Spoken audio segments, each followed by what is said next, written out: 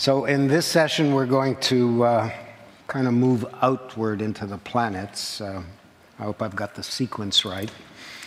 And uh, we're going to begin with Scott Larson, who I invited here because I wanted to know how did a sober specialist in corporate finance, somebody who has advised other people on sensible business practices, structuring and restructuring, get caught up in a mad scheme to provide the world's first near live HD video feed of Earth from space.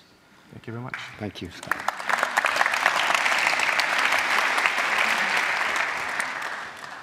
Yeah, so thank you for the opportunity to tell you a little about, uh, to tell you all just a little more about what we're doing here at UrtheCast.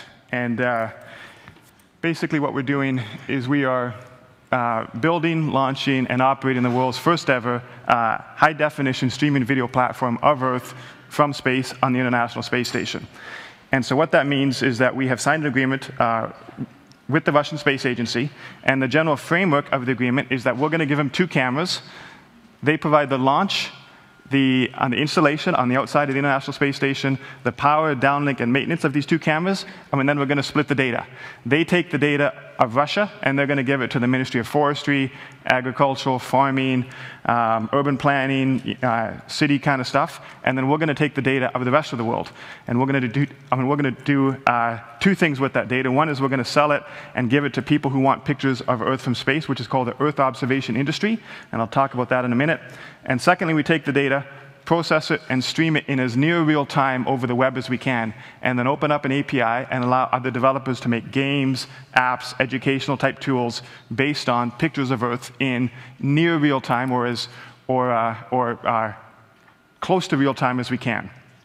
And so uh, here's a little bit on the International Space Station, of course. It's the most expensive man-made project ever. Um, they've spent about $100 billion on it. Uh, there's five different agencies involved, Canada, Russia, European, uh, NASA, I mean, then the Japanese Space Agency. Uh, it goes around Earth um, about 16 times a day. Most satellites, of course, go like this over the poles, and the space station goes from about 52 degrees south uh, to 52 degrees north, traveling at about 25,000 kilometers an hour, which is about 7 kilometers per second. And so as Earth turns like this, the space station just kind of swivels around like that.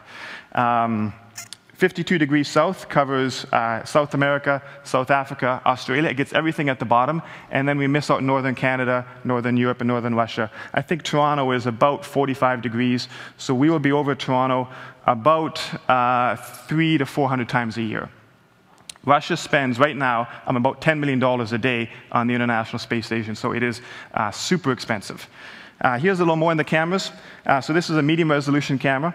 Uh, we're working with both MDA uh, out of Vancouver. I mean, then there's a company in the UK which is called Rutherford Appleton Labs, which is uh, just outside of Oxford, basically one of the world's leaders. Uh, MDA is building the back-end electronics, and the folks in the UK are basically building the lenses. So this camera is about this big. It's about this long. Uh, it's pointed directly down, and it, it, takes a 50 kilometer wide swath at what's called five meter resolution. So wherever the space station goes, it takes this kind of endless panoramic image that, um, that basically goes on forever. And at five meter resolution, it means anything that's five meters big you can see. So buildings, roads, rooftops, uh, fields, farms, agricultural, you know, that kind of stuff. You basically use it for, um, for wide area coverage. And from a space uh, from a camera in space standpoint, this is actually pretty standard. You know, there's nothing that's really, uh, there's nothing that's really too unique about it. Uh, this camera here is much more unique, and this is a video camera. It's about this big, it's about this long, and this is at one meter resolution. And it's mounted on this pointable platform that we can swivel around and direct and hold. So if you imagine the space station is going over Hamilton, it's out in the suburbs, the one camera is pointed directly down, basically taking a picture of kind of whatever it sees, this camera here, if we decide there's something over downtown Toronto that we want to image, we can, uh, we can point the camera over, hold it for about 90 seconds, and take a 90 second video at uh, one meter resolution. And then as it gets too far past Toronto, you know, then it goes on to Montreal or Boston, New York, Chicago, and we'll take about 150 of those videos as the ISS goes around Earth every single day. Uh, so at uh, one meter resolution, anything that's one meter is big, cars, buses, groups of people, boats, planes, that type of thing. Uh, you'll never see the guy mowing the lawn in the backyard. Physics kind of get in the way of that, but you'll see a golf cart, white on green. Um, cameras are in the final stages of being built. Uh, they're being um, Uh, they're being put together in the UK right now. Actually, here's a picture that we got out of Russia uh, just last week. I mean, this is the Hydro Lab. So outside of Moscow, they have a full-scale replica of the International Space Station underwater. And they train the astronauts or the cosmonauts who are going to be going up on the type of work they're going um, on the type of work that they're going to be doing. So if you see uh, the top camera there, uh, and that's the high resolution. On the video camera, it's much bigger. And then, I mean, then the camera that's kind of in the middle there, uh, that's the medium resolution camera, and you can see the cosmonaut off to the side. It's a you know, kind of a weightless environment. So they train them underwater so that they know what they're going to be doing when they get to space. Uh, cameras get shipped to Russia late this summer uh, from uh, they get packaged and they go through some, through some final kind of certification kind of stuff. They go from there to Kazakhstan, which is where they get launched from, and they get launched late October, early November on a Russian rocket like this. And then from there they go to space. It's about a six or seven hour trip up to the International Space Station on this capsule. And then a couple weeks later, they get taken inside and then they get installed on the outside of the International Space Station. Um, the reason actually that we're going up in November is because the Russians are taking up the Olympic torch and they want to time our launch, our cameras, with when the torch is going to be in space. So they're going to do a spacewalk with the torch. Russians love space, and of course they have the Olympics next year, and they're taking the torch up and so forth. So, um, kind of cool, right? So there's some, uh, so there's some neat marketing stuff. Uh, before I get into the rest of it, I'd like to tell a little bit kind of how UrtheCast started. Um, because I think it is unique, and maybe it answers, answers some of Moses' questions about uh, kind of the genesis of it. About four years ago, my brother worked for one of Canada's premier aerospace companies.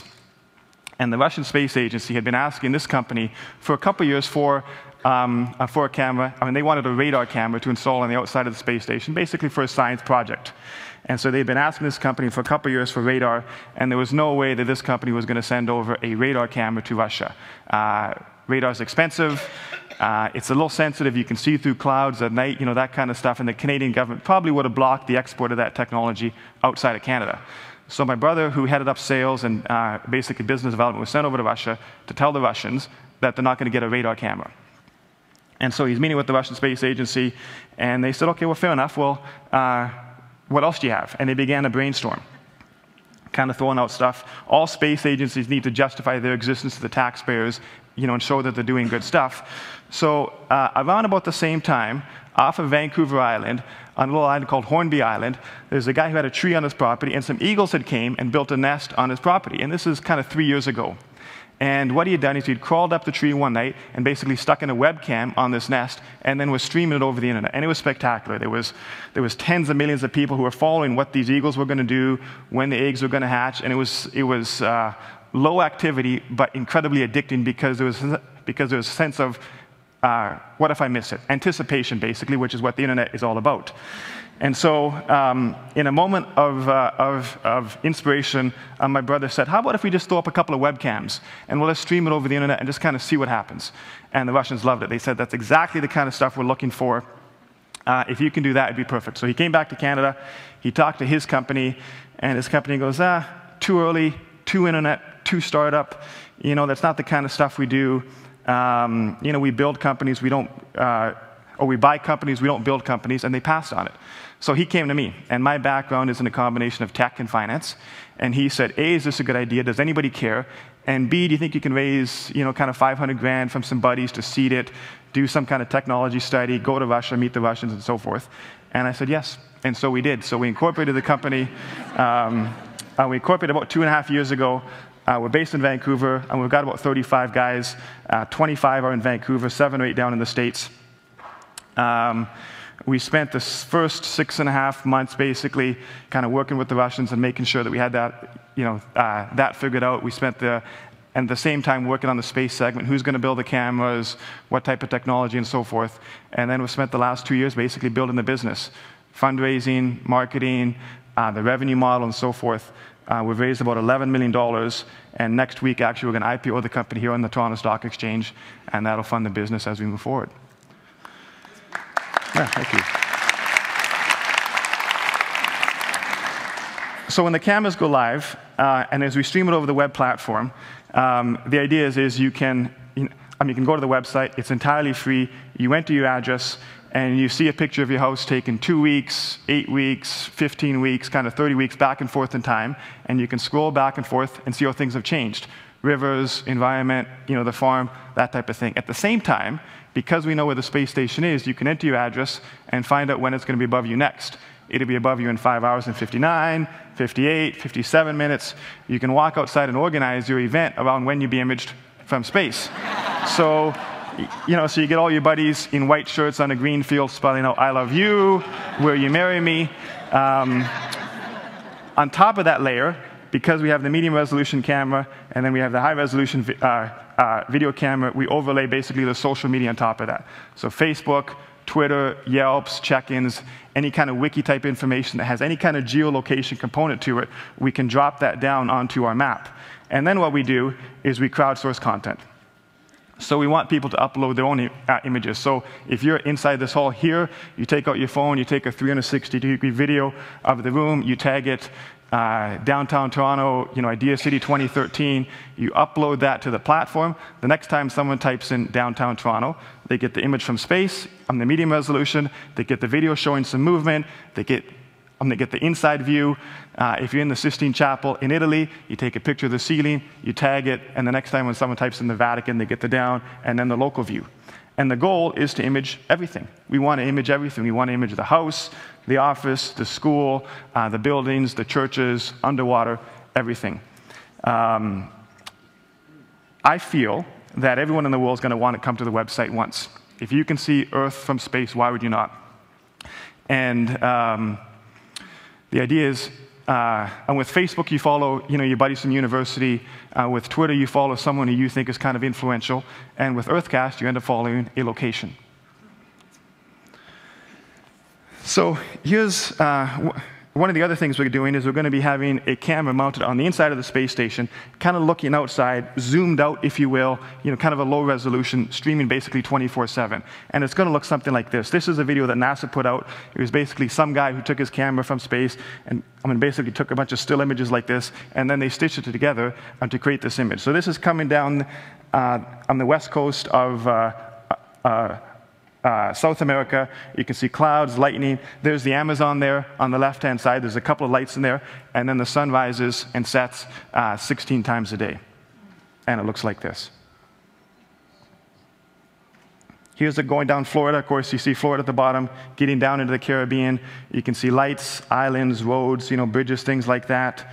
Uh, Central Europe, it's all lit up, of course. You know, there's lots of lights there. Uh, that green thing is the horizon you know, that you can see. Uh, here's uh, Southern Europe. You can see Italy. It does, in fact, look like a boot. You can see uh, Turkey, Greece, Cyprus. Uh, here we get on, uh, on the top right-hand corner, there, uh, that's the Nile into Egypt. So it's spectacular. And then this is the Northern Lights. And this is what they look like from above. And it turns out they look better from above than they do from below.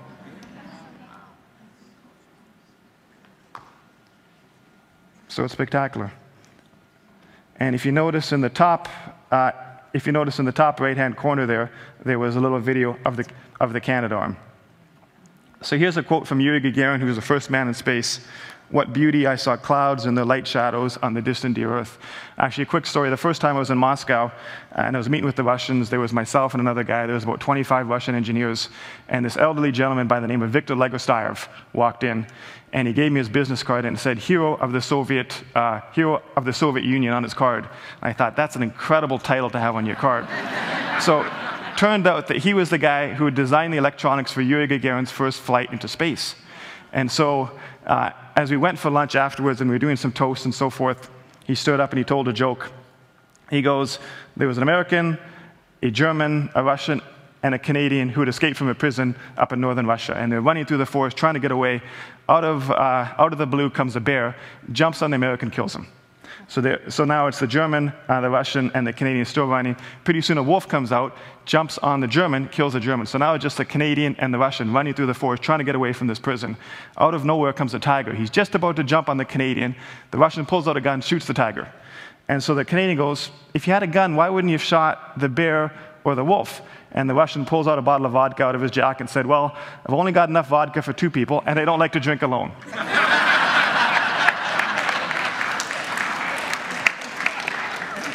so uh, space is popular these days, of course. There's, um, there's lots of commercial space companies. Um, you know, we've got Virgin Galactic taking people to space. We've got people wanting to mine asteroids and so forth. And then we've got Chris Hadfield, who just spent about five months up in space and was dropping the pucks at the Leafs games and uh, sending down some all kinds of great pictures uh, including this tweet where he said, I talked with, Neil uh, talked with Neil Young tonight. He and his hybrid 59 Lincoln, me in a spaceship. And when it comes to tweets, it's really tough to beat you know, that kind of emphasis. The other thing that we're going to be, I'll be doing basically is uh, giving the information into the Earth observation industry, which has been dominated by satellites that cost about three to 800 million dollars. Uh, our cost of the cameras is about 5% of that. So other satellite companies need to charge $20,000 in order to make some of the money that they spent building the satellites. With us, because we spent just a fraction of that, we can, um, uh, we can actually give away the imagery and we can look to make it elsewhere. And so uh, one of the things we wanted to do is we signed an agreement with the UN. They reached out to us last spring. I flew to Geneva. We met them there, and they want to use it for you know kind of uh, educational. Um, crisis monitoring kind of stuff. We're talking with other nonprofits who want to monitor the forest and media companies and so forth. And so when you come to an industry with this kind of disruptive cost structure and this kind of partnership that we have, there's really, uh, it opens up all kinds of possibilities of things that you can do and how you can turn that upside down and the, and the, and the, and the education and the environmental awareness that you can uh, generate from that, I think has the, uh, has the ability to turn that industry upside down. So when you talk to astronauts, and I've talked to four of them, and they go up and they say, you know, they've been to space, they come back basically fundamentally changed.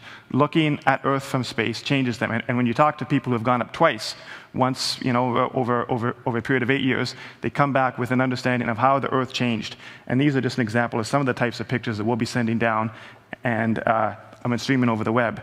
And the idea is, is that as we, um, uh, astronauts always have a different view of what um, Earth means. And so pictures like this, UrtheCast's goal here is to take some of the astronaut's perspective and bring it down here for the rest of us.